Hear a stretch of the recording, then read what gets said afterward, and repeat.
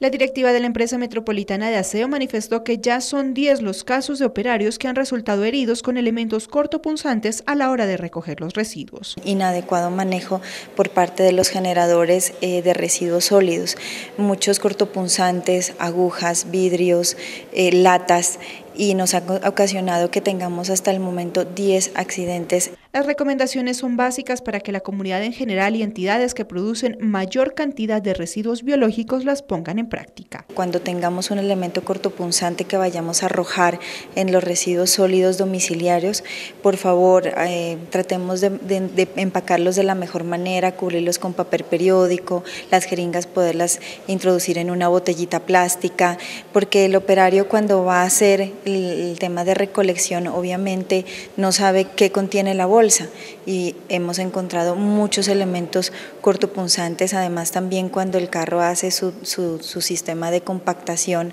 al, se han presentado ocasiones en que se rompen las bolsas y salpican muchos vidrios quebrados y nos ha ocasionado varios accidentes.